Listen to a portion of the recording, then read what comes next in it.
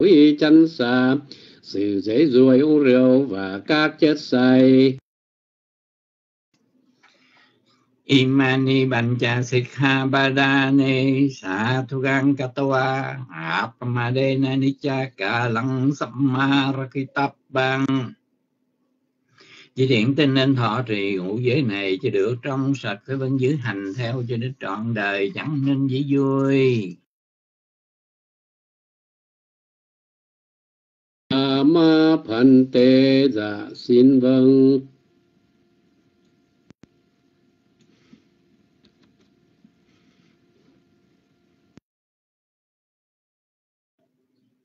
Silena Sugatanyanti Silena Phuvasambada Silena Niputanyanti Tasma Silang So Thạ Ye Các chúng sanh được sanh về cõi trời cũng nhờ giữ giới cái chúng sanh được giàu sang cũng nhờ giữ giới. Cái chúng sanh giải thoát nhập niết bàn cũng nhờ giữ giới. Bởi các cái nên chư thiện tính phải ráng thọ trì dễ luật cho được trong sạch. Đừng có lâm nhơ. Sa thu sa thu lần thay. Dạ thay mặt đại chúng trong room con xin được thành kính truyền Đại Đức Minh hạnh đã từ bi hoan nhỉ chuyển tam quy. Ngũ giới đến hàng vật tử chúng con với lòng thành kính làm lễ tam giúp tam bảo tùng kinh thọ trì quy giới phẩm phước phát sanh lên. Chúng con xin hồi hướng đến các vị ôn thầy tổ, ông bà, cha mẹ, thân bằng, quyến thuộc, nội ngoại, hai bên của chúng con đã quá vãng. Cầu mong cho các vị ấy tùy phần phước này rồi được tái sanh về nơi nhàn cảnh. Bằng đã tái sanh vào nơi an vui nào rồi thì sự an vui càng thêm tăng tiến. Do phước báu mà chúng con đã trong sạch làm đây, hãy là món duyên lành để chứng đắc a la hán thánh đạo thánh quả niết bàn diệt đoạn tuyệt mọi phiền não ngũ ngầm nơi tâm. Nam mô phật tha giá nam mô tham ma giá nam mô sẵn kha giá. Dạ kính bạch đại đức kính thưa quý tu nữ cùng toàn thể đạo tràng sau phần lễ bái tam bảo tụng kinh thọ trì quý giới à, hôm nay thứ ba chúng ta sẽ đọc lại kinh pháp cú kinh tiểu bộ Itivuttaka kinh Phật tử thuyết chương 4 Vẩm mê hi bài 1 Dạ, Nhà Vattana xin được à, cả, cả. kính mời cô tu nữ tuệ duyên xích tràng đông xích cẩm vân giơ tay để đọc. Kinh tiểu bộ hôm nay nam mô bút tha gia kính mời dạ thấy xích tràng đông giơ tay trước.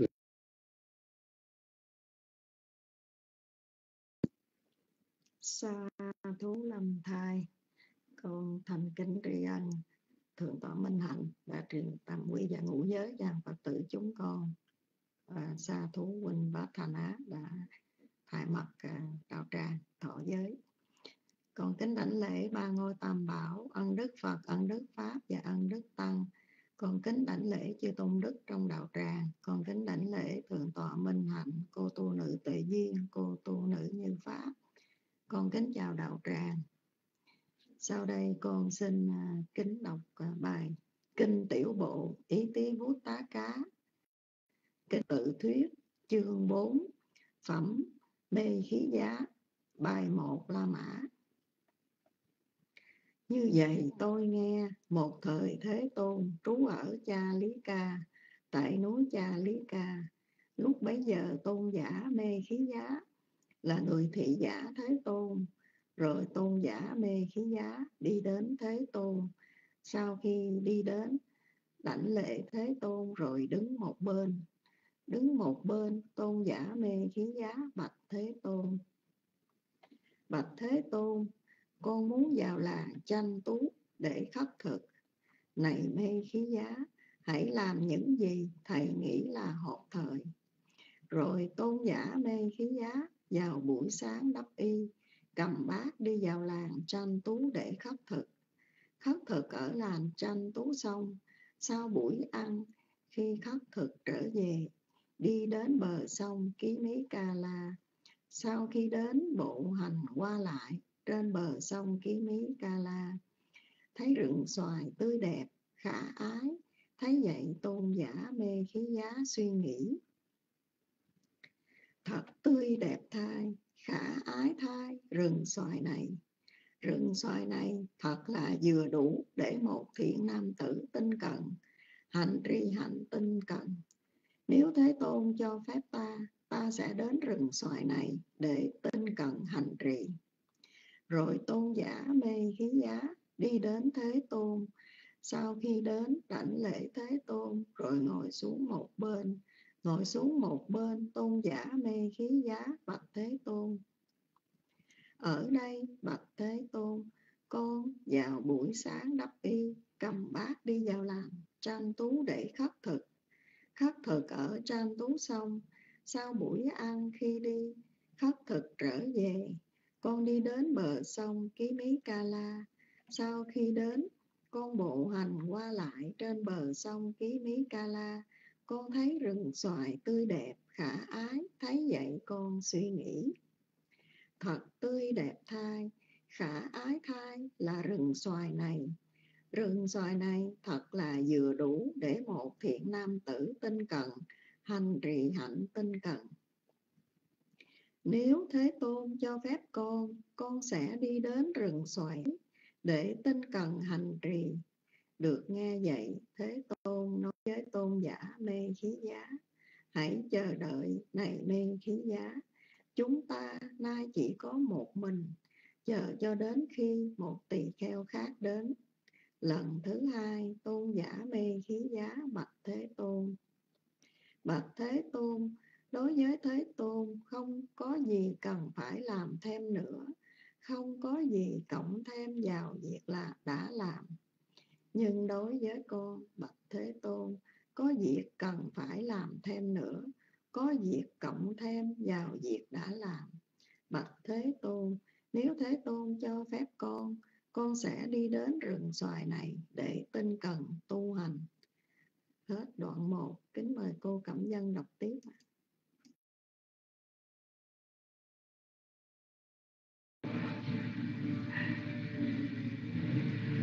Dạ Nam mô Bụt Thà, dạ Nam mô Tham Ma, dạ Nam mô Sang Kha, dạ con kính lệnh lễ Đức Phật, con kính lệnh lễ giáo pháp, con kính lệnh lễ Đức Tăng, con kính lệnh lễ thường tọa minh Hạnh cùng chư tôn đức. Kính chào quý cô tu nữ cùng quý đạo hữu trong rung. Con xin đọc bài đoạn 2 lần thứ hai thế tôn nói với tôn giả mê ghi giá hãy chờ đợi này mê ghi giá. Chúng ta nay chỉ có một mình. Chờ cho đến khi một tỷ kheo khác đến. Lần thứ ba, tôn giả mê ghi giá bạch thế tôn. Bạch thế tôn đối với thế tôn không có gì. Cần phải làm thêm nữa không có gì. Cộng thêm vào việc đã làm con sẽ đi đến rừng sòi này để tinh cần tu tập.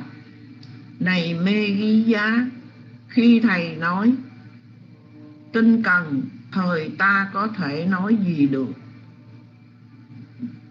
Này mê ghi giá này thầy, nay thầy hãy làm những gì thầy đã nghĩ là hợp thời rồi tôn giả mê ghi giá từ chỗ ngồi, đứng dậy đảnh lễ thế tôn. Thân bên hữu hướng về ngài, đi đến rừng sòi ấy. Sau khi đến, đi sâu vào rừng sòi và ngồi trú ban ngày dưới một gốc cây. Trong khi tôn giả mê ghi giá trú trong rừng sòi ấy, phần lớn ba tâm ác, không thiện hiện hiện hành, tức là dục tầm sân tầm hải tầm rồi tôn giả mê ghi giá suy nghĩ như sau. Thật vi diệu thai, thật hy hữu thai. Ta vì lòng tin xuất gia, từ bỏ gia đình, sống không gia đình.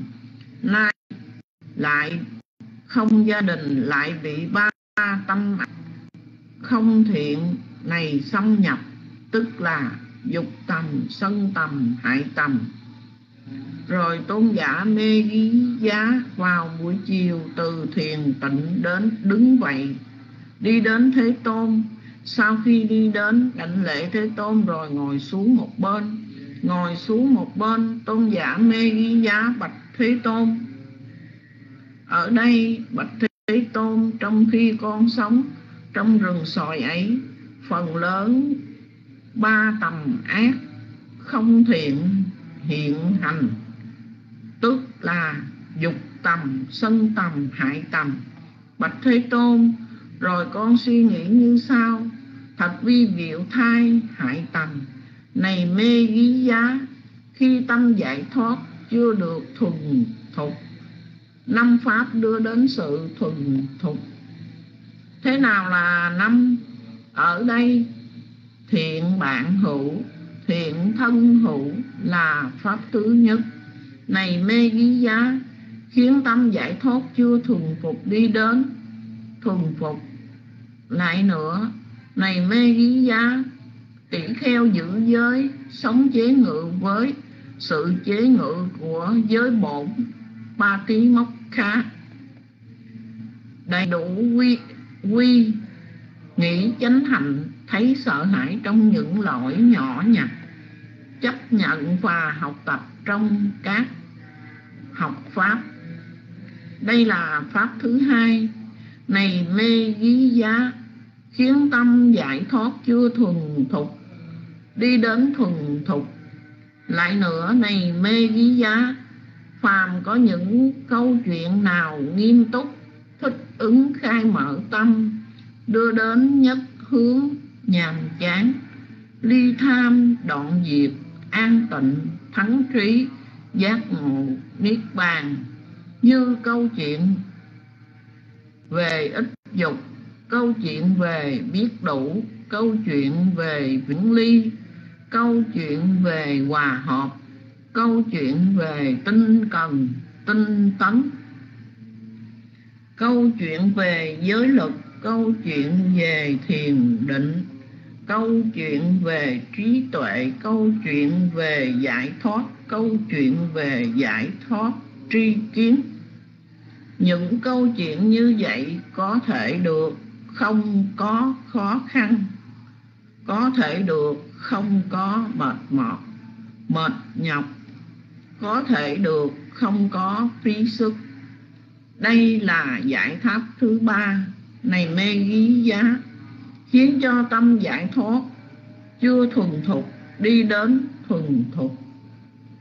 Và hết đoạn 2 và cảm dân xin à, xuống mít và mời cô tu tệ duyên.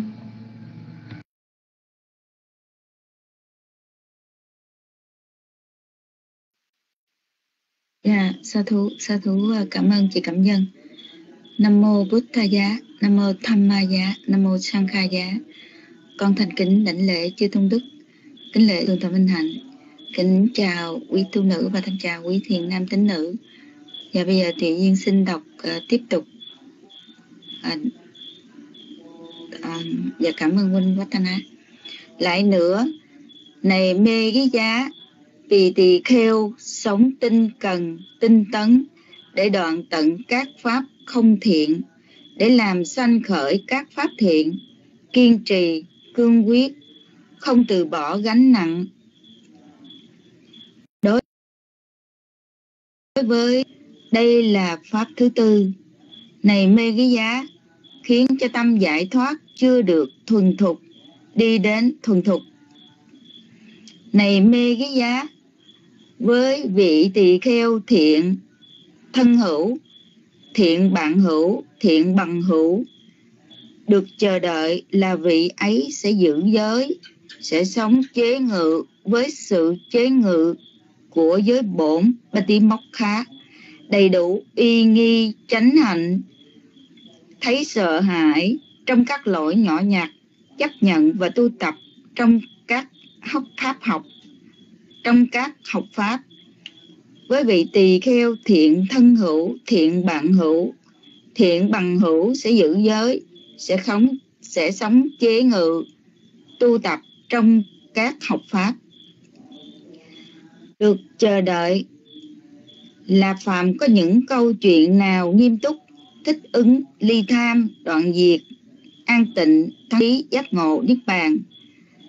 Như câu chuyện về ích dục câu chuyện về viễn ly, câu chuyện về hòa hợp, câu chuyện về tinh cần, tinh tấn, câu chuyện về giới giới luật, câu chuyện về thiền định, câu chuyện về trí tuệ, câu chuyện về giải thoát, câu chuyện về giải thoát tri kiến. Những câu chuyện như vậy có thể có được không khó khăn, có được không mệt nhọc, có được không phí sức. Với với vị tỳ kheo thiện thân hữu, thiện bạn hữu, thiện bằng hữu, được chờ đợi là vị ấy sống tinh cần, tinh tấn, để đoạn tận các pháp không thiện, để làm sanh khởi các pháp thiện kiên trì, cương quyết không từ bỏ gánh nặng đối với pháp thiện. Với vị tỳ kheo thiện thân bằng hữu thiện bạn hữu, thiện bằng hữu. Được chờ đợi là vị tỷ kheo sẽ có trí tuệ, đầy đủ trí đi đến thẩm đi đến thẩm sát, sanh diệt với thánh với thánh thể nhập, đưa đến đoạn tận khổ đau. Lại nữa, này mê cái giá, với tỳ kheo, với vị tỳ kheo khéo an trú trong năm pháp này. Bốn pháp cần phải tu tập thêm. Bất tịnh cần phải tu tập để đoạn tận tham. Từ cần phải tu tập để đoạn tận sân. Niệm hơi thở vô, hơi thở ra cần phải tu tập để trừ khử tầm tư. Vô thường tưởng cần phải tu tập để nhổ lên kiêu mạng. Tôi là này mê ghi giá. Với ai có tưởng vô thường, tưởng vô ngã được an trú. Với ai có tưởng vô ngã, vị ấy đạt được sự nhổ lên kiêu mạng. Tôi là niết bàn ngay trong hiện tại. Rồi thế tôn, sau khi hiểu biết ý nghĩa này ngay trong lúc ấy, nói lên lời cảm hứng này. Một, các tầm nhỏ, tế nhị, hiện hành ý hoan hỷ. Do không biết đến chúng, tâm động tâm động chạy nhiều đời. Nếu biết chúng tầm tư, nhiệt tâm và chánh niệm chế ngự được tư tưởng khi ý không hoan hỷ bậc chánh giác bỏ chúng không còn chút dư tàn. Dạ hết. Dạ à, bây giờ đã thấy tín hiệu của à, pháp nguồn lào, lào cai. Dạ kính mời à, chị. Dạ con kính chị ân cô tự duyên ạ. Con kính đảnh lễ ba ngôi tâm bảo con kính đảnh lễ thượng tọa minh hạnh. Con kính lễ cô tu nữ như pháp cô tu nữ tuệ duyên ạ. Con xin kính chào toàn thể đạo tràng. Dạ con xin phép được ờ, đọc bài kinh tiểu bộ. Ý tí cá kinh Phật tự thuyết, chương 4 phẩm mê khí giá. Bài 34 như vậy tôi nghe một thời Thế Tôn, chú ở Kalika tại núi Kalika lúc bấy giờ tôn giả Mê Khí Giá, là người à, thị giả Thế Tôn. Rồi tôn giả Mê Hí Giá đi đến Thế Tôn. Sau khi đến đảnh lễ Thế Tôn rồi đứng một bên, đứng một bên tôn giả Mê Khí Giá bạch Thế Tôn. Bạch Thế Tôn, con muốn vào làng Chan Tú để khất thực. Này Mê Khí Giá, hãy làm những gì thầy nghĩ là hợp thời rồi tôn giả mê hí, mê khí giá vào buổi sáng đắp y, cầm bát, vào làng chan tú để khất thực. Khất thực ở làng chan tú xong, sau buổi ăn, khi khất thực trở về, đi đến bờ sông ký mỹ ca la. Sau khi đến, bộ hành qua lại. Trên bờ sông ký mỹ ca la, thấy rừng xoài tươi đẹp khả ái. Thấy vậy, tôn giả mê khí giá suy nghĩ, thật tươi đẹp thay, khả ái thay, rừng xoài này xoài này thật là vừa đủ để một thiện nam tử tinh cần, hành trì hạnh tinh cần. Nếu thế tôn cho phép ta ta sẽ đến rừng xoài này để tinh cần hành trì. Rồi tôn giả mê ký giá đi đến thế tôn. Sau khi đến đảnh lễ thế tôn rồi ngồi xuống một bên, ngồi xuống một bên tôn giả mê ký giá bạch thế tôn. Ở đây bạch thế tôn, con vào buổi sáng đắp y, cầm bát, đi vào làng chăn tú để khất thực. Khất thực ở chăn tú xong, sau buổi ăn khi đi khất thực trở về, cho con đi đến bờ sông ký mí ca la. Sau khi đến, con bộ hành qua lại trên bờ sông ký mí la ca ca la. Con thấy rừng xoài tươi đẹp, khả ái, thấy vậy con suy nghĩ. Thật tươi đẹp thay, khả ái thay, rừng xoài này, rừng xoài này thật là vừa đủ để một thiện nam tử tinh cần, hành trì hạnh tinh cần. Nếu thế tôn cho phép con con sẽ đi đến xoài ấy để tinh cần hành trì. Được nghe như vậy, thế tôn nói với tôn giả mê ký giá hãy chờ đợi này mê mê khí giá chúng ta nay chỉ có một mình, chờ cho đến khi một tỷ kheo khác đến. Lần thứ hai, tôn giả mê khí giá bạch thế tôn. Bạch thế tôn, đối với thế tôn, không có gì cần phải làm thêm nữa, không có gì cộng thêm vào việc đã làm. Nhưng đối với con, bạch thế tôn, con có việc cần làm, cần phải làm. Thêm nữa, có việc cộng thêm vào việc đã làm bạch thế tôn, nếu thế tôn cho phép con con sẽ đi đến rừng xoài này để tinh cần hành thiền dạ để tinh cần tu hành dạ con đã đọc hết đoạn 1 ạ dạ con xin được xuống mách mời chị Sương Mai ạ dạ. con kính đảnh lễ thượng tọa pháp tâm dạ. cảm ơn chú Bát Thân Á cảm ơn cô Dạng Đông ạ.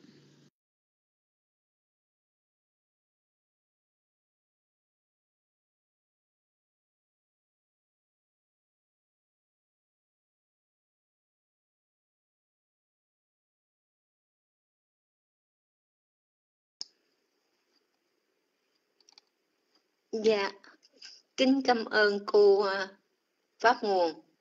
Dạ.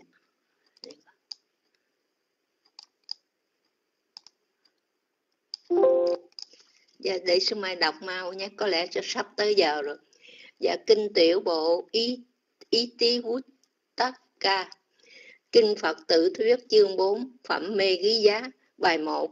Như vậy tôi nghe, một thời Thế Tôn trú ở Kalika tại núi Kalika lúc bấy giờ tôn giả Medi Megiya là người thị giả Thế Tôn.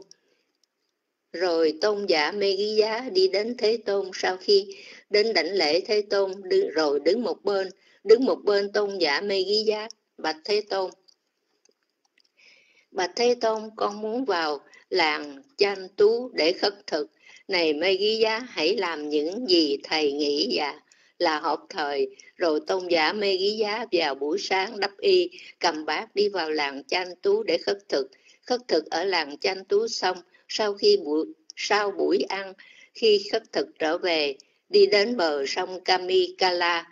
Sau khi đến bộ hành qua lại trên bờ sông Kamikala, thấy rừng xoài tươi đẹp khả ái, thấy vậy tôn giả mê ghi giá suy nghĩ thật tươi đẹp thai khả ái thai rừng xoài này rừng xoài này thật là vừa đủ để một thiện nam tứ tính cần hành trì hạnh tinh cần nếu Thế Tôn cho phép ta, ta sẽ đến rừng xoài này để tinh cần hành trì, rồi tôn giả mê ghi giá đi đến Thế Tôn.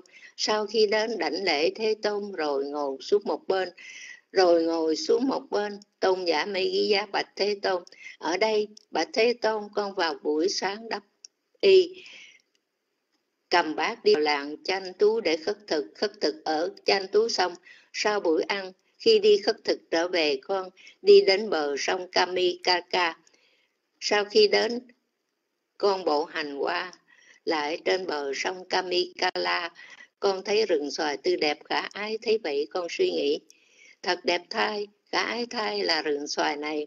Rừng xoài này thật là vừa đủ để một thiện nam một thiện năm tứ tinh cần, tứ tinh cần hành trì. Hạnh tinh cần, nếu thế tôn cho phép con con sẽ đi đến rừng xoài ấy để tinh cần hành trì. Được nghe vậy, thế tôn nói với tôn giả mê ghi giá hãy chờ đợi này mê ghi giá chúng ta nay chỉ có một chờ cho đến khi một tỳ kheo khác đến lần thứ hai. Tôn giả mê ghi giá bạch thế tôn, bạch thế tôn, đối với thế tôn không có gì cần phải làm thêm nữa. Không có gì cộng thêm vào. Việc đã làm, nhưng đối với con bạch thế tôn, có việc cần phải làm thêm nữa, có việc cộng thêm vào để việc là đã làm. Bạch thế tôn, nếu thế tôn cho phép con con sẽ đi đến rừng xoài này để tinh tấn tu hành. Dạ hết đoạn một. Dạ kính mời huynh quách thanh á. Dạ kính mời huynh. Dạ, sa thu sa thu đàn thầy xin sương mai nam mô phật thà nam mô tham ma nam mô sẵn khả ya kính đảnh lễ ba ngôi tam bảo đức phật giáo pháp và chư tăng. Kính đảnh lễ đại đức pháp tân kính đảnh lễ đại đức minh hạnh. Kính chào cô tu nữ uh, như pháp của tu nữ tuệ duyên. Kính chào toàn thể đạo tràng. Con xin được đoạn đọc tiếp. Lần thứ hai thế tôn nói với tôn giả mê khi giá hãy chờ đợi này mê khi giá chúng ta. Nay chỉ có một mình chờ cho đến khi một tỷ kheo khác đến lần thứ ba tôn giả mê khi giá bạch thế tôn. Bạch thế tôn, đối với thế tôn không có gì cần phải làm thêm nữa, không có gì cần thêm vào việc đã làm, vân vân. Con sẽ đi đến rừng xoài này để tinh cần tu hành. Này mê khi giá khi thầy nói tinh cần, thời ta có thể nói gì được? Này mê khi giá nay thầy hãy làm những gì thầy nghĩ là hợp thời.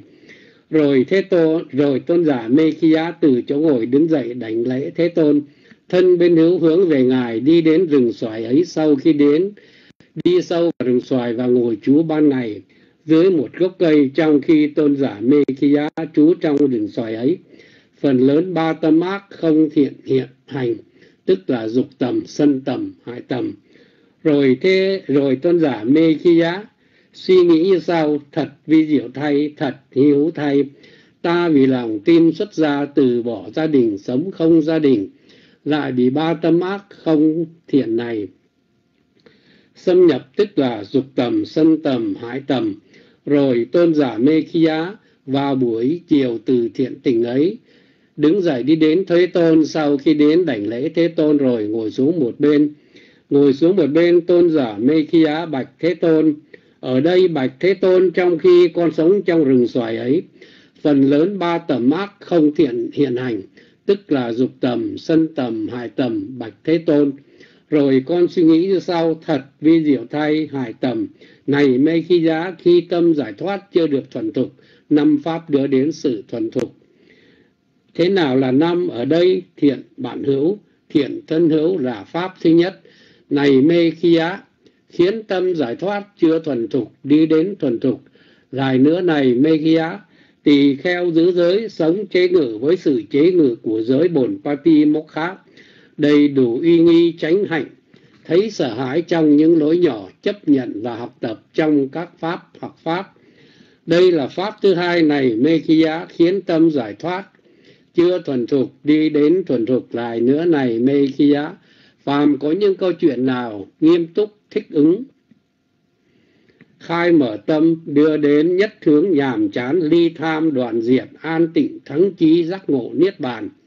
Như câu chuyện về ít dục, câu chuyện về biết đủ, câu chuyện về viễn ly, câu chuyện về hòa hợp, câu chuyện về tinh cần, tinh tấn. Câu chuyện vì giới luật, câu chuyện về thiền định, câu chuyện về trí tuệ, câu chuyện về giải thoát. Câu chuyện về giải thoát chi kiến, những câu chuyện như vậy có thể được không khó khăn có thể được, không có mệt nhọc, có thể được, không có phi sức. Đây là giải pháp thứ ba. Này mê khi giá khiến cho tâm giải thoát, chưa thuần thục, đi đến thuần thục. Đoạn thứ hai. Dạ con xin đọc tiếp để kính mời cô tu nữ như pháp đọc bài mới ha. Lại nữa này, mê khi giá vì tỳ kheo sống tinh cần, tinh tấn để đoạn tận các pháp, không thiện để làm sanh khởi các pháp thiện, kiên trì, cương quyết, không từ bỏ gánh nặng đối với pháp thiện.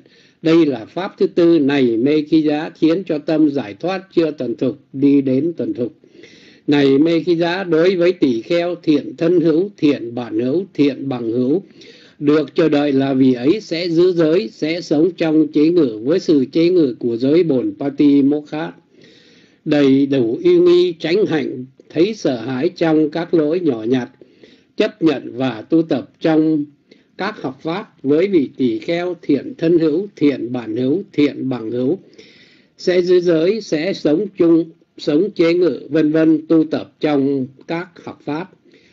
Được chờ đợi là phàm, có những câu chuyện nào nghiêm túc, thích ứng, ly tham, đoạn diệt, an tịnh, thắng trí, giác ngộ, niết bàn, như câu chuyện về ít dụng, câu chuyện về viễn ly, câu chuyện về hòa hợp, câu chuyện về tinh cần, tinh tấn, câu chuyện về giới luật, câu chuyện về thiền định, câu chuyện về trí tuệ, câu chuyện về giải thoát, câu chuyện về giải thoát chi kiến.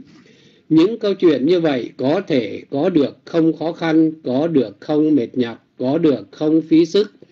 Với vị tỳ kheo thiện tâm hữu, thiện bản hữu, thiện bằng hữu được chờ đợi là vì ấy sống tinh cần, tinh tấn để đoạn tận các pháp không thiện, để làm sanh khởi các pháp thiện, kiên trì, cương quyết, không từ bỏ gánh nặng. Đối với pháp thiện, với vị tỳ kheo thiện tâm bằng hữu, thiện bản hữu, thiện bằng hữu, được chờ đợi là vị tỷ kheo sẽ có trí tuệ đầy đủ trí kiến đến thẩm sát, sanh diệt với thánh định nhập đưa đến đoạn tận khổ đau. Lại nữa này mê khi á, với vị tỷ kheo khéo an trú trong năm pháp này, bốn pháp cần phải tu tập thêm, bất tịnh cần phải tu tập để đoạn tận tham. Từ cần phải tu tập để đoạn tận sân, niệm hơi thở vô hơi thở ra, cần phải tu tập để trừ khử tầm tư. Vô thường tưởng cần phải tu tập để nhổ lên kiêu mạn. Tôi là, này mê khi giá, với ai có tưởng vô thường, tưởng vô ngã được an trú, với ai có tưởng vô ngã vì ấy đạt được sự nhổ lên. Kiêu mạn, tôi là niết bàn ngay trong kiếp hiện tại. Rồi thế tôn sau khi hiểu biết ý nghĩa này, ngay trong lúc ấy nói lên lời cảm hứng này. Các tầm nhỏ tế nhị hiện hành ý hoan hỷ, do không biết đến chúng, tâm động chạy nhiều lời đời nếu biết chúng tầm tư, nhiệt tâm và chánh niệm, chế ngự được tư tưởng, khi ý nghĩ không hoan hỷ, bậc chánh giác bỏ chúng không còn chút dư tàn. Dạ, đến đây là hết bài học hôm nay. và Bài bác bài nào xin được kính mời cô tư nữ Như Pháp. Dạ, kính mời cô.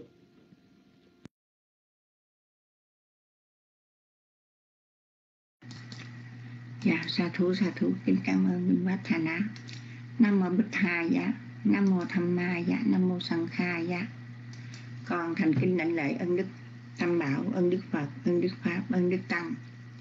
Con thành kính đảnh lễ Thượng tọa Pháp Tân, Thượng tọa Minh Hạnh cũng chưa tôn đức hiện diện trong đạo tràng. Như Pháp kính lễ quý bà, quý cô tu nữ, như Pháp kính lễ cô tu nữ tệ duyên, như Pháp kính chào quý anh, chị em đạo hữu hiện diện trong đạo tràng. Và cảm ơn.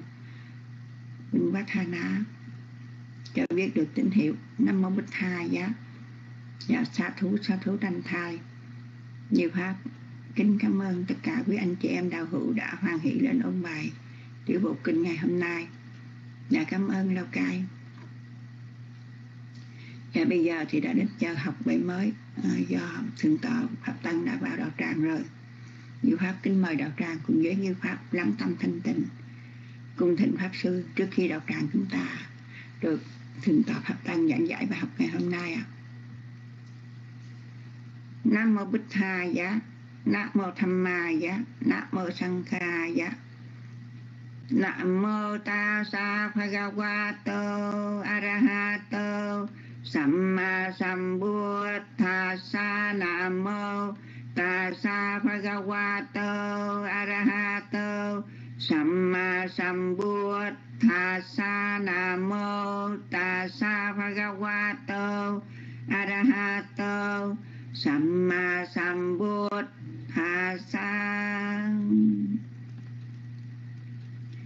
hàng thiện tinh mãi mê rằng cảnh na nghiệp bướng bề nặng gánh lo toan ít khi tâm trí rảnh rang à, não phiền kết buộc sân tham còn nhiều. Nghe tranh pháp như người được ngọc ma nghe pháp nhiều chư phật gợi khen. Phước sanh trí tuệ vô biên à, đường đi sáng tỏ nhân duyên rõ ràng. Thịnh Pháp Sư Đăng Đàn Thuyết Giáo Hoa, Vị nơi đây tâm đạo tinh thành. Ngưỡng mong chánh Pháp hình thành A ngưỡng cầu thâm nhập, đạo lành như lai. Nam mô Bích Hai dạ dạ con, trước khi con thỉnh thượng tọa pháp tăng, con xin phép được đọc bài ngày hôm nay ạ. À. dạ cảm ơn huynh Quá Thanh Á cho bài học bài học ngày hôm nay kinh tiểu bộ Itivuttaka kinh Phật tự thuyết chương 4 phẩm mê ghi giá, bài hai la mã. Như vậy tôi nghe một thời thế tôn trú ở Kusinara tại Ubatama trong ngôi rừng ba lá của dân chúng mạch là lúc bấy giờ, nhiều tỷ kheo đang sống trong những cốc ở trong rừng không xa.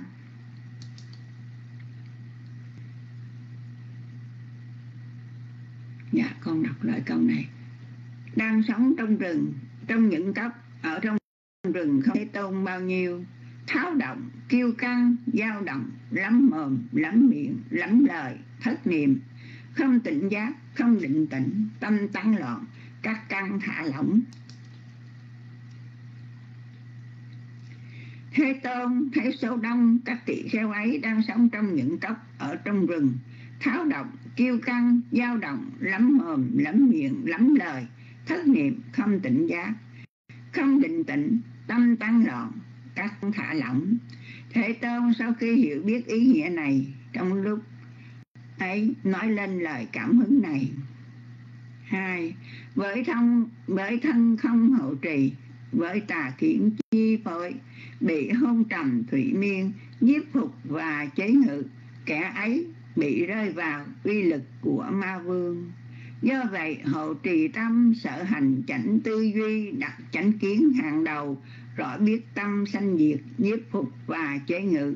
Hôn trầm và thủy miên vì tỷ kheo như vậy từ bỏ mọi ác thú. Nam Mô Bích Tha Giá và bản chánh văn đến đây đã hết. Con xin thay mặt đại chúng trong rung thành kính đảnh lễ cung thỉnh thượng tọa pháp tân từ bi thuyết giảng bài học ngày hôm nay như pháp kính chúc đạo tràng một buổi học pháp được an vui tiến hóa dạ con kính dân minh sư à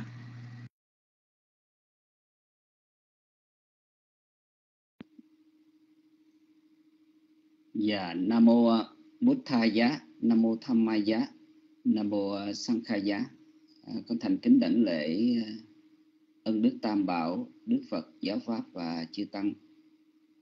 Kính uh, chào à, Thượng tọa Minh Hạnh, uh, kính chào quý cô tu nữ và thân chào quý thiện nam tín nữ.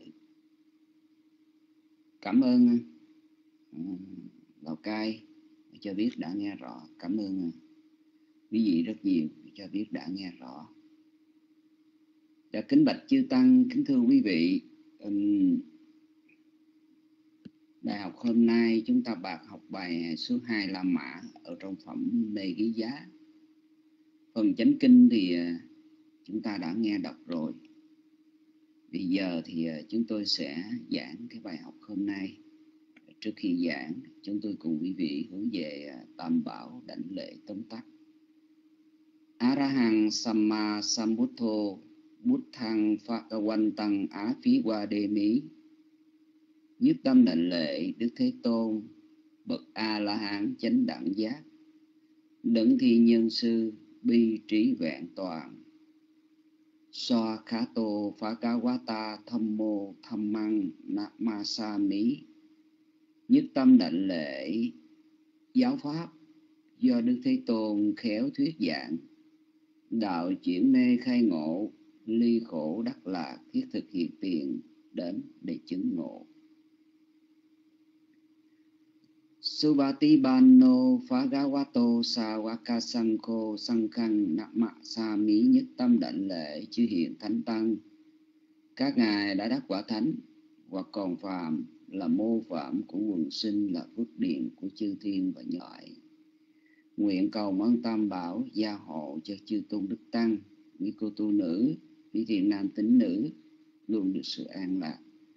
Nam mô Bụt Tha thưa quý vị um,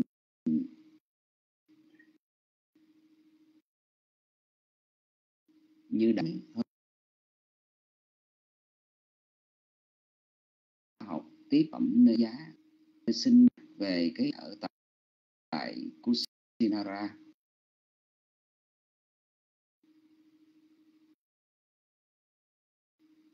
Uh,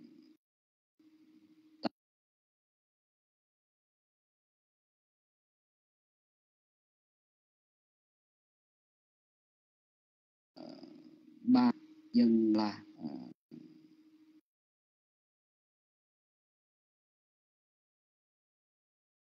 đây là một cái cái,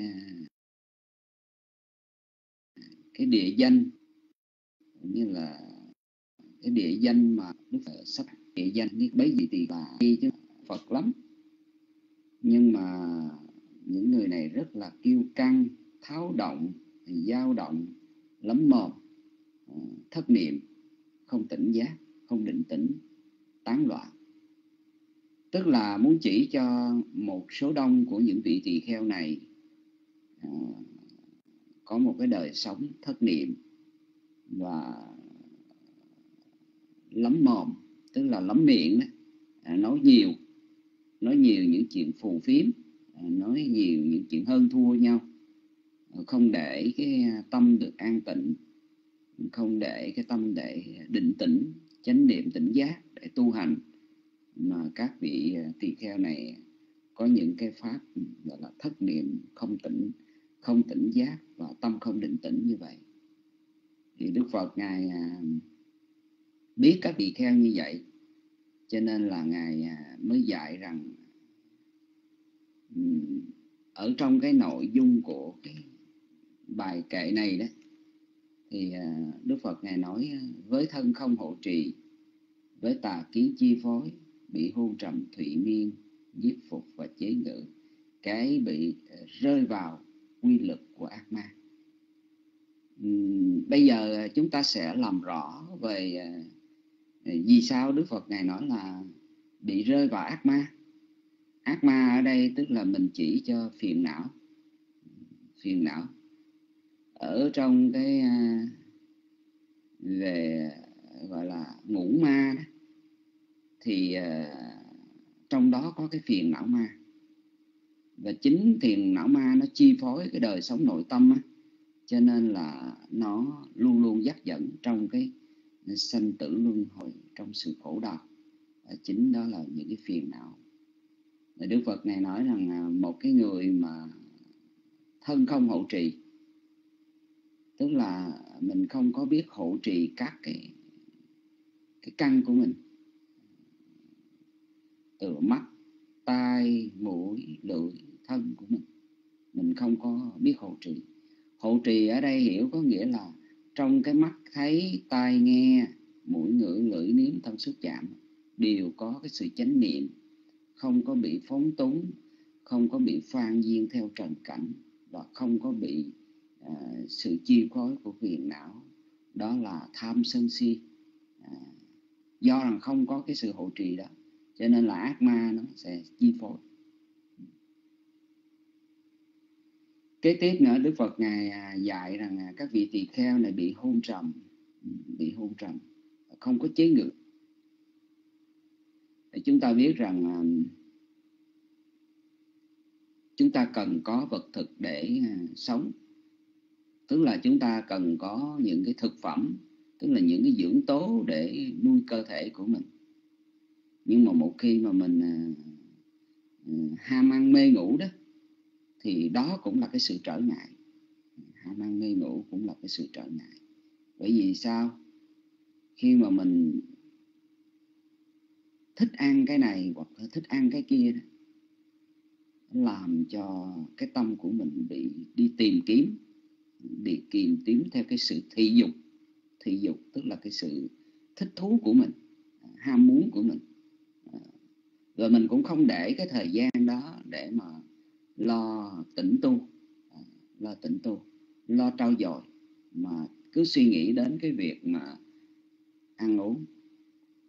Sự thật ra thì à, Phật cũng nói là những cái thực phẩm nó cũng như là những cái dược liệu, những dược liệu để chữa cái chứng bệnh đói cho mình thôi. Và nó nó nó cung cấp cái đủ cái năng lượng để chúng ta hoạt động trong một ngày đã ờ, nếu như mà mình để cái thời gian quá nhiều, để tâm quá nhiều vào cái việc ăn uống đó, thì ờ, nó cũng không tốt cho cái sự tu tập của mình. Rồi khi mà mình ăn như vậy đó thì ờ, nhiều quá đó thì sẽ sinh ra cái hôn trọng thủy miên hôn trầm thủy miên hai cái điều này, thường thường đó là đi hôn trầm đi với lại thị miên tức là một trạng thái mệt mỏi của thân. Tức là cái thân chúng ta quể quải nha quể quải rồi cái tâm của mình rất là hạn chế cái sự suy tư. Tức là lúc bấy giờ giống như quý vị mà ngồi à, ngồi thiền đấy quý vị bình thường quý vị hoạt động sinh hoạt đi tới đi lui thì quý vị không thấy gì vũ hết không nhưng mà khi mà mình ngồi thiền ở đâu là mình rơi vào cái trạng thái hôn trầm rơi vào cái trạng thái thủy miên. Cho nên là chúng ta buồn ngủ. Và khi buồn ngủ như vậy thì chúng ta không minh định được cái đề mục mà mình đang theo dõi. Thí dụ như mình à, theo dõi đề mục hơi thở thí dụ như mình à, theo dõi đề mục đất đề mục nước đề mục lửa gì đó vân vân. Cái đề mục mà mình đang theo dõi đó làm cho mình uh, gọi là khi mà mình mình đi hôn trầm như vậy thì cái tâm của mình nó không có thể nào tập trung vào trong cái đề mục được. Và nó rơi vào cái trạng thái không minh định. Không minh định. Đó là trạng thái hôn trầm và thủy miên như vậy thì ờ, đức phật này nói rằng cái người này đó bị rơi vào cái lưới của ác ma cái quy luật của ác ma.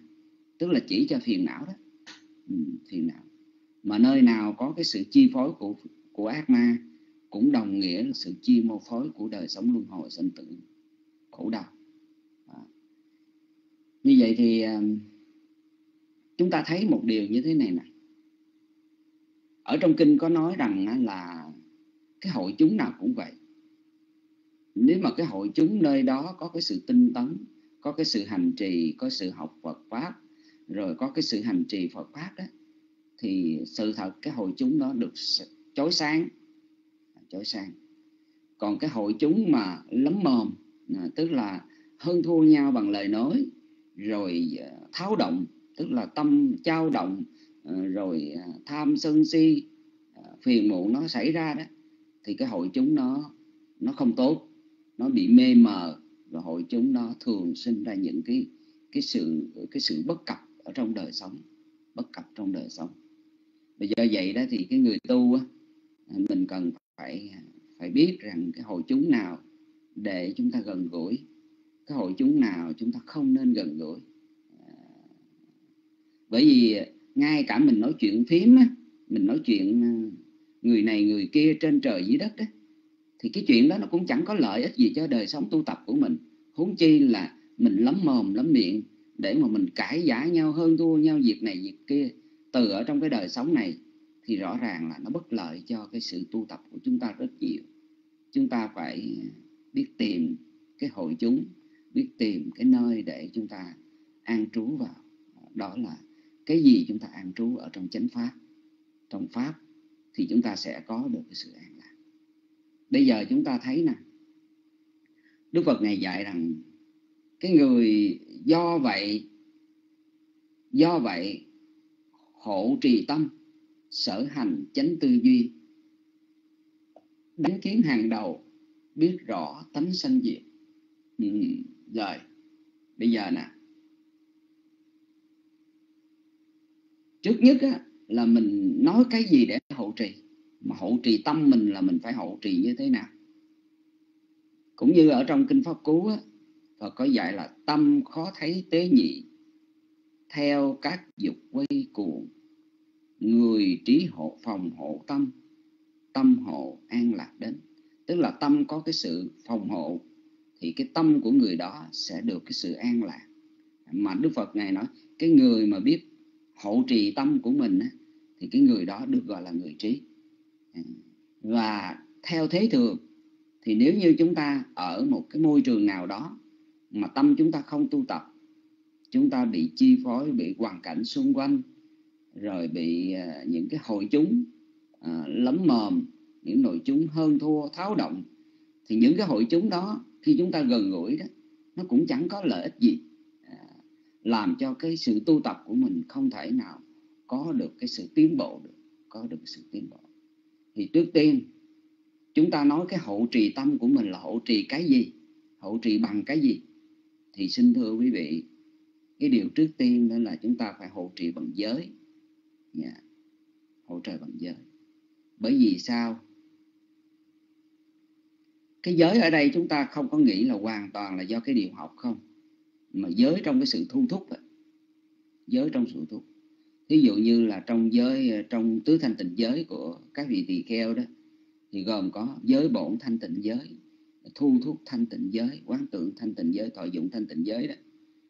Thì ngay cả cái sự thọ dụng của mình cũng là giới. À, rồi ngay cả mắt thấy tai nghe của mình mũi ngửi lưỡi niệm thân xúc chạm đó, thì mình cũng phải có cái giới. Chứ sự thu thúc sự thu thúc bằng giới à, sự thu thúc đó rất là quan trọng vì vậy cho nên là ờ, một người mà có niệm á à, có chánh niệm tốt đó, thì cái người đó đi đứng nằm ngồi đều có cái sự thu thúc, có cái sự thu thúc. Vì vậy thì ở đây đó là nói đến giới là chúng ta có cái sự phòng hộ phòng hộ để ngăn ngừa ngăn ngừa. Cho nên là ngài Bút Tháo Cô Xá ngài cũng có nói là giới là hàng rào để ngăn chặn những tội lỗi. Giới là làm cho cái tâm của mình bất hối. Tức là cái tâm của mình không có hối hận hay là hối tiếc bởi những cái hành vi lỗi lầm của mình. Khi một khi giới được trong sạch giới được tốt đẹp giới được có cái sự phòng hộ thì rõ ràng là mình không có cái sự hối hận gì. À, gì? Như vậy thì ở đây ờ, giới là cái sự ngăn ngừa.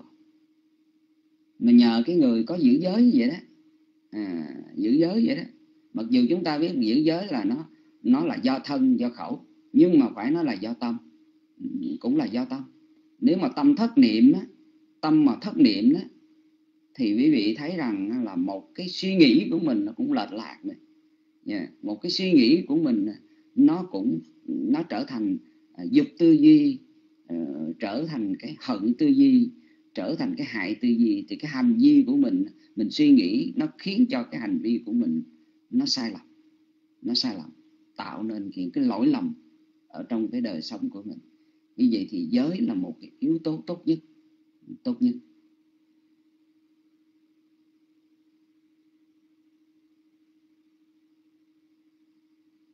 Cái người tu của chúng ta cũng vậy. Dù là uh, bậc xuất gia hay là người tại gia cư sĩ cũng vậy. Mình phải có cái giới tối thiểu của một cái người tu để ngăn ngăn ngăn những cái hành vi sai lầm lỗi lầm của mình. Vì vậy cho nên là giới được xem như là cái hàng rào để ngăn ngừa. Mình đều có cái sự chủ tâm quý vị. Chủ tâm để tránh xa. Chủ tâm để tránh xa. Giống như là mình nguyện là con nguyện cố ý tránh xa sát sanh sát hại sinh vật. Con nguyện ờ, cố ý tránh xa trộm cắp. Con nguyện cố ý tránh xa nói dối. Con nguyện cố ý tránh xa tà dâm. Hoặc là con nguyện cố ý tránh xa uống các cái chất sai vân vân. Thì mình có cái sự chủ tâm để ngăn ngừa. Ờ, chứ không phải là nó đưa đẩy ra sao thì đưa. Nhưng mà mình có cái sự chủ tâm để ngăn ngừa mình biết cái điều đó nó lỗi. Đừng cho rằng cái lỗi dù là nhỏ nhặt đi nữa mà mình sai phạm thì cái giới đó nó, nó cũng bị lấm lem. Giới đó nó cũng bị ờ, bị rụng lũng bị rách. À, nó không tốt. Giới lấm lem là dơ bẩn. Dơ bẩn. Giới rách là coi như giới bị đứt. Lũng rách là giới giới giới bị đứt. Như vậy thì ở đây với một cái người tu đó thì Phật nói dù ở cái chỗ nào cũng vậy. Trong một cái à, trong một cái đoàn thể tăng chúng thì mỗi vị tỳ kheo đều có cái gọi là à, một vị tỳ kheo đều có cái gọi là là là là giới giới thanh tịnh hòa hợp với nhau. Giới thanh tịnh hòa hợp với nhau. Đó là một trong những cái yếu tố tốt để giúp vị hành giả có thể tiến tu được. Cái điều thứ hai đó là là là là rất là quan trọng, bởi trong cái sự phòng hộ của mình mình cần phải có chánh niệm. Nếu không có chánh niệm thì không được. Hồi nãy chúng tôi đã nói rồi, trong cái yếu tố của giới được thanh tịnh thì cũng phải có niệm. Nhưng mà ở đây nói, trong cái sự phòng hộ thứ hai nữa đó à, phòng hộ thứ hai nữa đó là à, bằng niệm. Tức là mình phải có cái chánh niệm đi đứng nằm ngồi các quay nghi à, đại quay nghi tiểu quay nghi. Đại quay nghi tức là đi đứng nằm ngồi. Tiểu quay nghi là những cái chớp mắt những cái lắc đầu những cái nháy mắt rồi những cái mà chúng ta nhét môi để chúng ta nói chuyện gì đó thì chúng ta đều có một cái chánh niệm. Chánh niệm ở đây là gì? Sự ghi nhận. Tỉnh giác ở đây là sự biết rõ ghi nhận những cái đang À, đang xảy ra đang có mặt đang có mặt. Giống như là mình đang à, à, theo dõi một cái đề mục nào đó thì mình nhờ có chánh niệm cho nên là mình mới biết được là ở cái đề mục nó đang như vậy. Giống như là mình có cái à, chánh niệm cho nên là mình ghi nhận được cái đề mục hơi thở của mình ra vào ra sao đó thì mình có thể ghi nhận được. Còn mình thất niệm thì làm sao mà mình có một cách điều đặn và thường xuyên được? Sao theo dõi được cái hơi thở của mình một cách đều đặn và thường xuyên được. Những cái lúc thất niệm đó hoàn toàn chúng ta quên. Một lát sau chúng ta chực nhớ lại thì ờ, chúng ta đã bị bị bị sao lãng rồi, bị sao lãng rồi, bị thất niệm rồi. Cho nên chánh niệm ở đây tức là sự ghi nhận. Mà tỉnh giác ở đây là sự biết rõ biết rõ những sự ghi nhận của mình. Thí dụ như mình mình ghi nhận hơi thở ra vào nhưng mà biết rõ cái hơi thở ra vào mạnh yếu ra sao mình phải biết rõ. Vì vậy cho nên là ừ, cái yếu tố này đó nó giúp cho cái cái đời sống mình ừ, không có bị không có bị cuốn theo những cái cái cái cái, cái phiền não. Không không có cuốn theo cái phiền não. Không có cuốn trong phiền não. Trong uh, tứ chánh một trong 37 pháp trợ đạo đó, thì trong đó có bốn cái phần tinh tấn của một cái người tu. Bốn cái phần tinh tấn của một người tu, đó là gì? Thận, cần, trừ cần, tu cần và bảo cần. Chữ cần ở đây đó là sự siêng năng, sự bám sát, sự nhiệt tâm, sự nỗ lực. Chữ cần ở đây là vậy À, mà mà mà thận cần tức là mình mình mình cẩn thận dè dặt không để cho một cái tạp niệm khởi lên một cái ý niệm bất thiện khởi lên. Một cái ý niệm bất thiện khởi lên. Vì à, à vì à, dặt chưa và vào á thì mình phải ngăn chặn. Dặt chưa vào thì mình phải ngăn chặn. Mã đã dặt vào rồi thì mình phải phải đánh đuổi đánh đuổi. Nhưng mà ở đây nói cái đầu, cái tinh cái tấn đầu tiên đó là mình thận, cẩn thận dè dặt, không cho giặt vào. Tức là không cho khởi lên một cái ý niệm bất thiện, dù là dục tư duy, hay là hận tư duy, hay là hại tư duy. À, Hạ khởi lên là chúng ta ghi nhận, có chánh niệm như vậy, thì chúng ta không để nào, không thể nào để nó khởi lên được để không thể nào nó khởi lên. Mà khởi lên nhờ có chánh niệm chúng ta mới biết được nhờ có tỉnh giác mà chúng ta mới biết được. Khởi lên những cái ý niệm bất thiện chúng ta phải biết được. À, nhờ cái gì? Nhờ chánh niệm và tỉnh giác. Như là ngày xá lợi phất ngày dạy là sati sapachanyanja duê thamma bahukara. Ngày dạy vậy. Tức là chánh niệm và tỉnh giác là hai pháp có nhiều tác dụng trong kinh thập thượng trường bộ kinh ngày xá lợi phất ngày dạy vậy. Cho nên cái gì đi nữa cũng là phải có cái niệm và tỉnh giác. Rất là quan trọng rất quan trọng. Cho nên cuộc sống hàng ngày đó quý vị thấy rằng là nhiều khi mình à, bận rộn rất là nhiều công việc này công việc kia. Nhưng mà tâm mình để thất niệm cho nên là à, mình không có thể nào mà mình có được cái sự an lạc từ nội tâm. Hay là cái việc tu tập của mình nó cũng bị bị bị bị bị sao nhãn đi. Nó không thể nào có cái sự tập trung chuyên chú vào trong một cái đề mục nhất định. Thế là chúng ta cũng hành trì nhưng mà nó lâu có kết quả lâu có kết quả. Thì ở đây đó phải nói rằng nó có nhiều cái yếu tố lắm.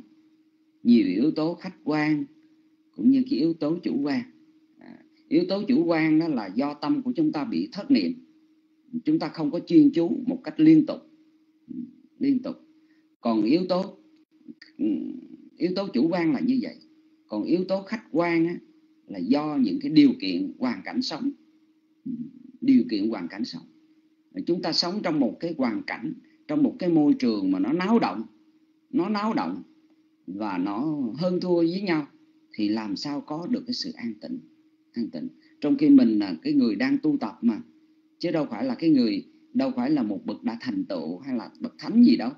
Cho nên là nếu mà mình không có môi trường tốt thì cũng khó mà có được cái sự an tịnh à, được cái sự tiến triển tốt ở trong cái đời sống tu tập của mình. Cho nên ở đây đó cái thận cần nó rất là quan trọng. Thứ hai là cái trừ cần tức là khi mà mình biết rằng trong tâm mình có những cái dục tư duy khởi lên hận tư duy khởi lên tức là ở đây chúng ta đọc khi nãy đó là những cái tư duy bất thiện đó. Tư duy bất thiện. Thì bây giờ mình tư duy làm sao? Tư duy tức là mình tìm kiếm mình suy nghĩ làm sao? Đừng cho dục tham khởi lên. Đừng cho sân hận khởi lên. Đừng cho cái não hại tổn thương với sinh mọi sinh vật lớn hay nhỏ. À, đừng có làm tổn thương với các cái sinh vật. Đó là không có não hại. À, không có não hại. Đó là chúng ta có tránh tư duy đó. Tránh tư duy đó. Tư duy vô dục tức là vô tham. Suy nghĩ như thế nào để rồi tâm mình không có tham? Đấm nhiễm ở trong ngũ trần. Tâm đấm nhiễm ở trong dục trần. À, tâm đấm nhiễm ở trong cái sự tái sanh. Rồi tư duy làm sao để rồi tâm của mình đừng có sân hận phiền muộn đó là chánh tư duy. À, tư duy làm sao để rồi không có cái sự não hại với cái sinh vật đó là chánh tư duy. À, như vậy thì ở đây khi mà mình có cái chánh tư duy mình biết rõ như vậy đó thì đó là một trong những cái tư duy tốt tư duy chân chánh để giúp cái đời sống tu tập của mình. Chúng ta liên hệ với bát chánh đạo. Đầu tiên chúng ta thấy rằng chánh kiến và chánh tư duy với một cái người tu của mình mình thấy rõ rằng cái sự sanh diệt của danh và sắc này nè cũng là chánh kiến. Hay là người ta nhìn về nhân quả sự sanh diệt luân hồi đó à, nhân quả luân hồi đó thì cái đó cũng là chánh kiến. Nhưng mà nói về cái chánh kiến tự thân của mình á, thì mình thấy cái sự sanh diệt của thân và tâm này đó một cách rõ ràng do chánh niệm của mình có đó thì cái đó đó là chánh kiến.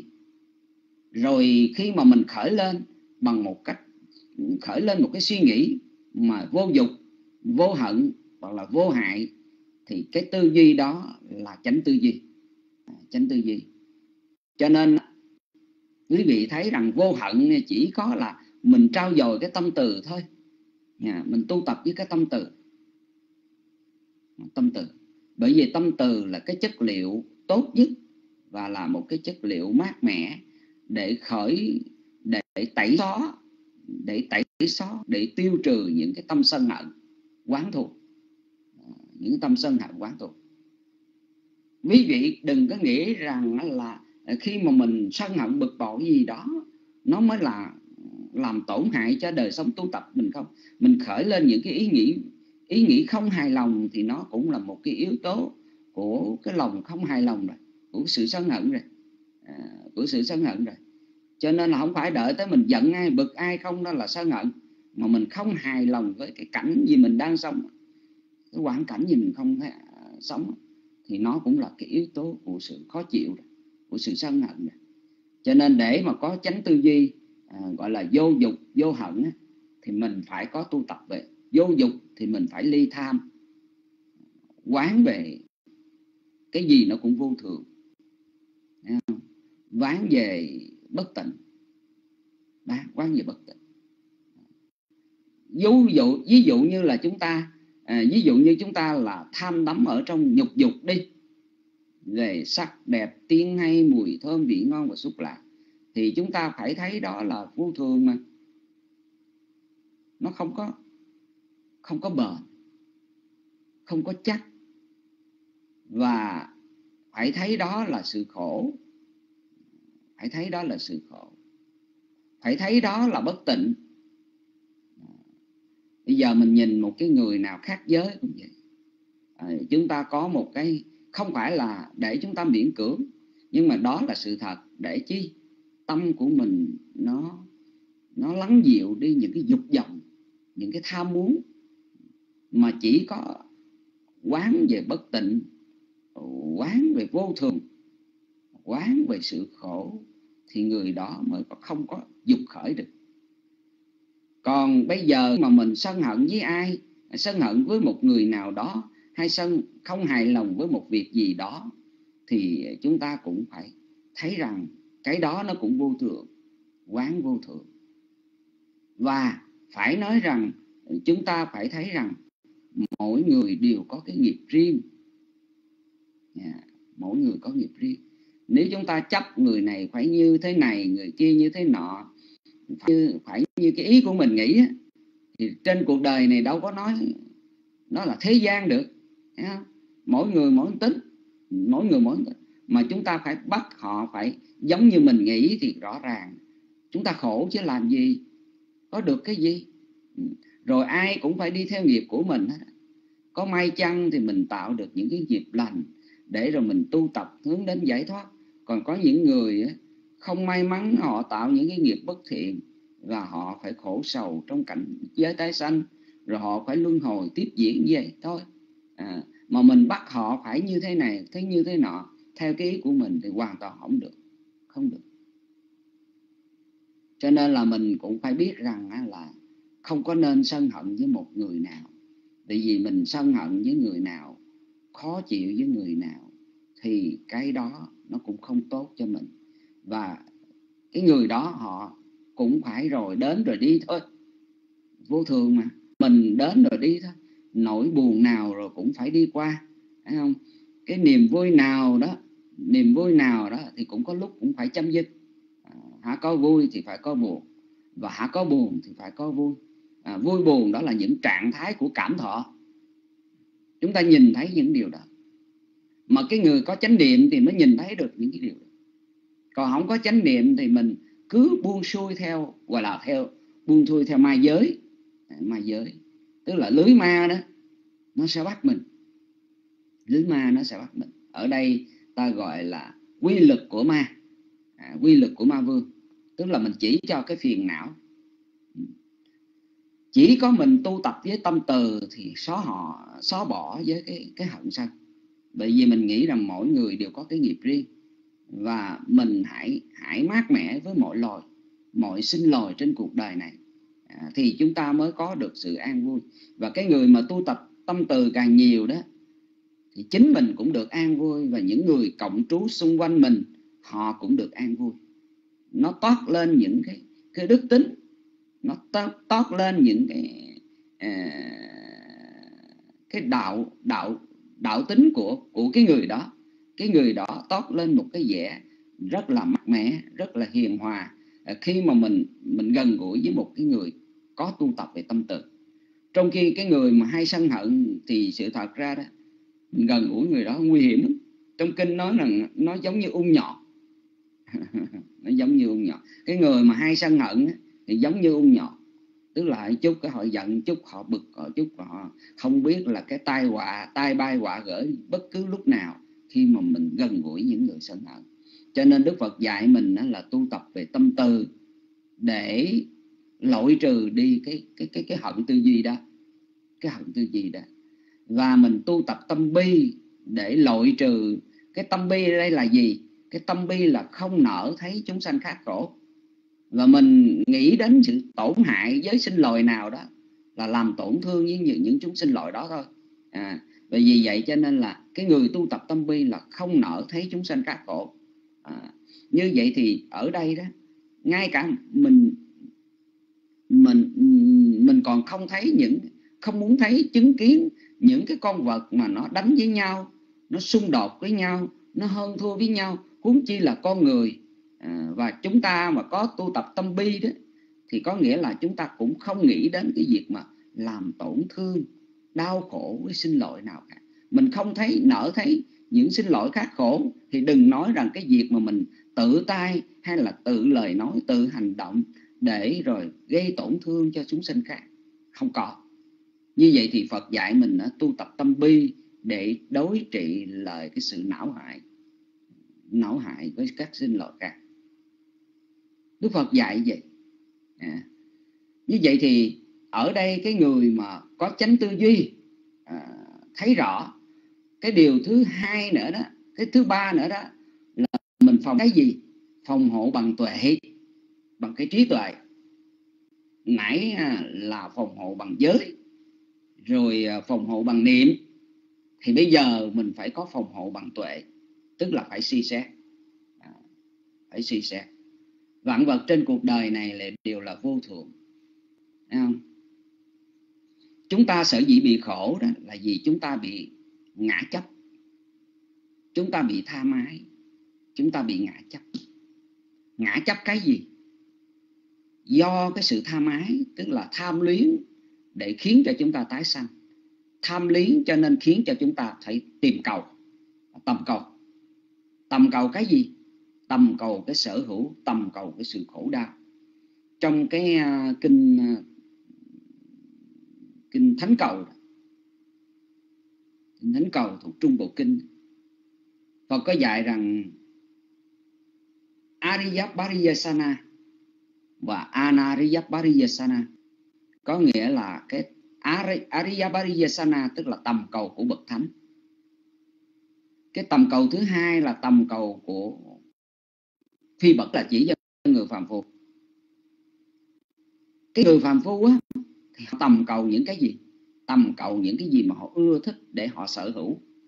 Họ sở hữu. Từ danh vọng, địa vị, lợi lộc, vợ con, chồng con, tất cả các thứ trên cuộc đời này, mình nghĩ rằng cái đó là cái sở hữu của cái cái của mình.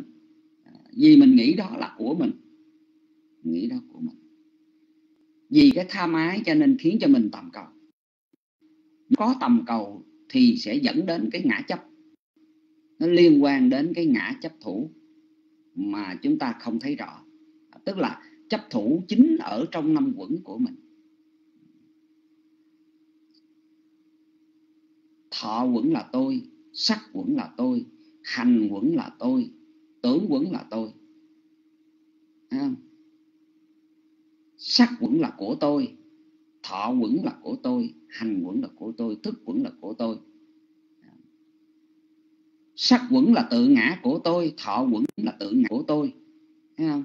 Tưởng quẩn là tự ngã của tôi hành quẩn là uh, tự, uh, tự ngã của tôi và thức quẩn là tự ngã của tôi. Ở trong cái tôi này nó có cái ở trong cái chính năm quẩn này có cái tôi trong đó là ngã chấp thủ mà chúng ta thấy nhìn lại trong cái giáo lý duyên khởi, chúng ta thấy nè, Đức Phật Ngài dạy rằng, vô minh duyên cho hành hành duyên cho thức thức duyên cho danh sắc danh sắc duyên cho lục nhập lục nhập duyên cho xúc xúc duyên cho thọ thọ duyên cho ái, và ái sẽ là duyên cho thủ. Hả, có ái ở đâu ở đâu có ái, thì ở đó có chấp thủ, mà liên quan đến ngã chấp thủ tức là chấp thủ ở trong tự năm quẩn của chính mình. Mà Phật dạy mình phải thấy rõ những điều đó. Để chi? Để thấy rằng với một người có chánh niệm, do giới có sự phòng hộ. Sự phòng hộ bằng giới, có sự phòng hộ bằng niệm, có chánh niệm có, thì người đó mới thấy được cái sự sanh diệt của danh sắc và liên quan với tự thân của mình, liên quan với năm quẩn của mình. Mình thấy rõ như vậy. Thấy rõ. Để chi? Để mình thấy rằng vạn pháp sanh trên cuộc đời này cả thân và tâm luôn luôn sanh diệt. Và có sự khổ não và vốn không có cái gì là của mình. Bởi vì nếu căn cảnh gặp nhau thì thức sanh cởi thôi. Căn cảnh gặp nhau thì thức sanh cởi chứ không có cái gì là là bền vững không có cái gì là là cốt lõi tự tự thân của nó được. À, cốt lõi tự thân của nó được. Bởi vì không có gì độc lập ngay cả cái nhìn thấy của mình, cái suy tư của mình, cái cái xúc chạm của mình, cái nghe của mình, cái nếm của mình, cái ngửi của mình, nó cũng là căn cảnh gặp lại là thức sanh khởi mà thôi. Chứ không bao giờ có cái gì, cái tôi, cái ta ở trong cái thấy đó, ở trong cái nghe đó, trong cái ngửi đó, hay trong cái nếm đó, hay trong cái sự suy tư đó, hay là trong cái sự xúc chạm đó. Cho nên vì vậy, ngài xá lợi phất, ngài có nói là chỉ có sự thấy, chứ không có người thấy. Chỉ có sự nghe, chứ không có người nghe. Chỉ có sự xúc chạm, chứ không có người xúc chạm. Chỉ có sự suy nghĩ, chứ không có người suy nghĩ. Tức là đức, ngài xá lợi pháp ngài muốn nói rằng, không có cái tự ngã ở trong do chúng ta chấp có cái tự ngã ở trong cho nên là mọi cái đều có cái sự chấp thủ ở trong cho nên chúng ta khổ đau. Khổ đau. Nó liên quan đến cái gì? Tà kiến khi nãy đoạn đầu đó chúng ta thấy giới ai tà, giới ai tà kiến chi phối? Giới ai tà kiến ở đây là tà kiến là gì? Liên quan đến cái ngã chấp thủ. Dạ, cái ngã chấp thủ. Mà chúng ta chấp thường. Satsata dithi tức là cái quan điểm chấp thường, có một cái gì đó hằng hữu ở trong mỗi chúng ta. Và cái hằng hữu đó, cái đó ta gọi cho nó một cái tên gì đó là linh hồn, là tự ngã hay là một cái gì đó, và chúng ta gắn cho nó một cái tên, và thế rằng chúng ta cho rằng nó nó trường tồn, bất biến và nó mãi mãi luân lưu từ đời này sang tới đời khác. Nó liên quan đến cái ngã chấp thủ của chúng ta. Liên quan đến cái ngã chấp thủ. Và vì vậy cho nên là dẫn đến cái khổ đau. Thì Đức Phật Ngài mới dạy như thế này, ai biết rõ tánh sanh diệt, chỉ có cái người có chánh niệm mới thấy được cái sự sanh diệt của năm quẩn của mình lúc nào mình có cái tệ quán thấy sanh khởi lên thì mình mới thấy rõ ràng rõ ràng là như vậy rõ ràng là như vậy. Chánh niệm có thì tệ quán về cái trí tuệ nó sẽ phát sanh. Lúc đó, đó thì trong đời sống hàng ngày do cái sự nhiếp phục của mình có. Rồi hôn trầm thị miên cũng không còn à, thì cái người đó tu tập tốt tu tập mới có thể có được cái sự tiến bộ và có thể à, từ bỏ mọi cái ác. Hiểu là như vậy. Ừ. Cho nên ở đây, khi mà tà kiến thì luôn luôn có, khi nào có tà kiến là luôn luôn có cái sự nghĩ sai, thấy sai ở trong chính tự thân của mình, chính năm quẩn của mình. Nhưng mà một người có chánh kiến thì thấy rõ cái sự sanh diệt đó, nó vốn là không à, không có cái tự ngã trong mình bởi vì cho nên chúng ta thấy rằng ở trong giáo lý gọi là gọi là tam tướng mà một người tu tập thiền quán hay là ngay cả chúng ta học Phật học cũng vậy thường nói đến tam tướng tức là vô thường anicca khổ đúc khác và à, vô ngã tức là anatta ba cái cái cái định đề đó ba cái nền tảng đó. chúng ta phải nhìn thấy nó liên quan với ở những cái gì ngoài thân của chúng ta và nó liên quan với những cái gì ở trong tự thân của chúng ta trong nội thân của chúng ta tức là ngũ quẩn. Nó cũng là vô thường. Nó cũng là khổ. Đó cũng là vô ngã. Cho nên bậc thánh mà thấy rõ ờ, tu tập về vô thường à, cho nên gọi là không tướng giải thoát. À, xin lỗi quý vị vô nguyện à, là vô tướng giải thoát. À, thấy vô thường mà giác ngộ đó là vô tướng giải thoát. Quán vô thường mà giác ngộ thì đó, thì gọi là vô tướng giải thoát. Ừ.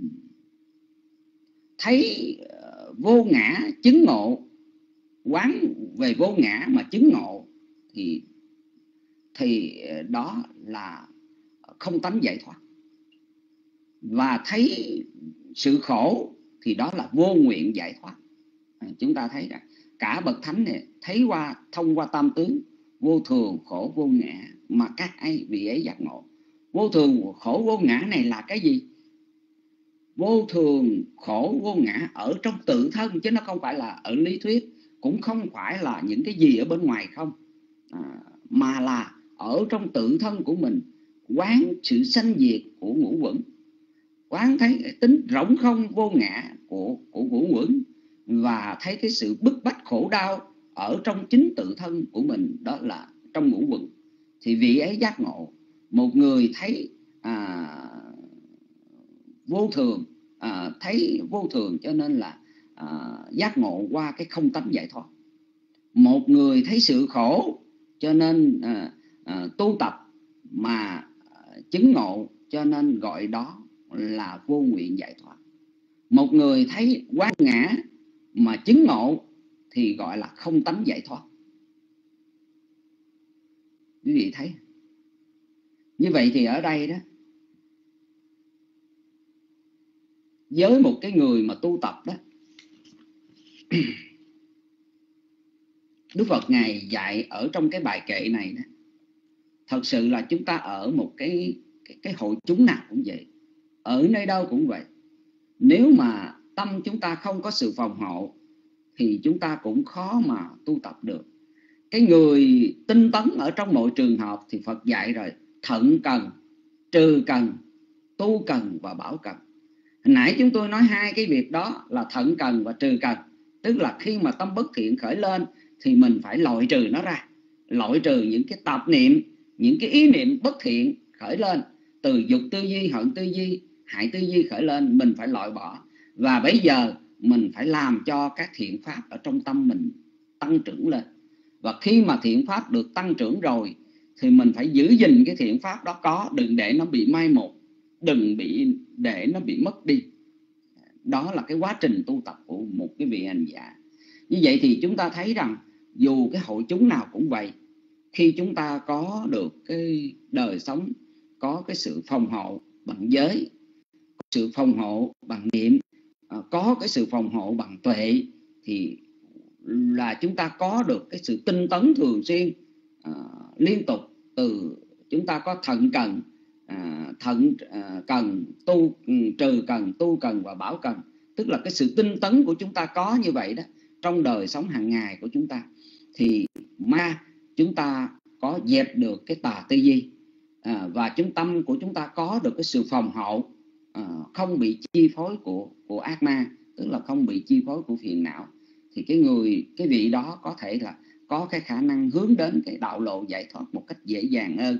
Và Đức Phật ngài à, nói ở đây à, trong cái dịp mà các vị tỳ kheo đã à, ở trong một cái khu rừng mà à, tháo động kiêu căng à, dao động lắm mồm lắm miệng lắm lời thất niệm không tỉnh giác à, không định à, đó thì ờ, thì thì Đức Phật ngài mới dạy này cần phải có sự tin mà sự tinh tấn người đó phải có chánh niệm. Rồi từ cái chánh niệm đó vị đó phát huy lên với cái trí tuệ thấy rõ được cái sự sáng vững tức là một người để thấy rõ những điều đó. Chúng tôi xin được uh, dứt lời ở đây. À, trước khi dứt lời thì uh, kính chúc chư tôn tâm an lạc à, kính chúc quý cô tu nữ quý phật tử luôn được sự an vui tiến hóa. À, xin phần phước này đến các vị chư thiên hộ trì chánh pháp chư thiên hộ trì chư tăng chư thiên hộ trì mỗi chư phật tử chúng ta quý tu nữ chúng ta luôn lạc nam mô bút tha giá.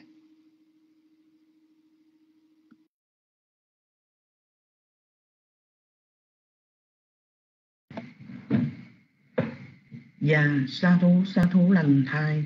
Chúng con kính tri ân thường tọa Pháp Tân đã giảng bài học ngày hôm nay cho chúng con nghe hiểu rõ để cố gắng học hành theo cho được sự lợi ích. Và chúng con kính tri ân Pháp Tân và con kính thỉnh thường tọa Minh Hành chúc phúc cho rung chuột trọn vẹn phước báo và con kính dân mất đến thường tọa Minh Hành